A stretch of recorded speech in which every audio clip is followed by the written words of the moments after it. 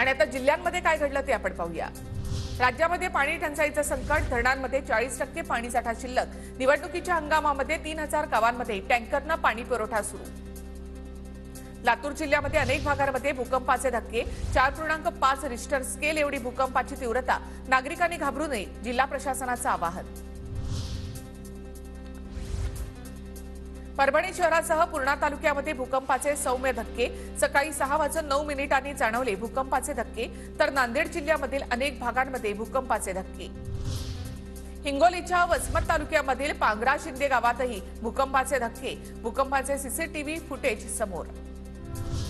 नाशिक शहरामध्ये थेट रस्त्यालगत तोलून मापून एमडी ड्रग्ज विक्रीचा प्रयत्न पोलिसांनी उधळला.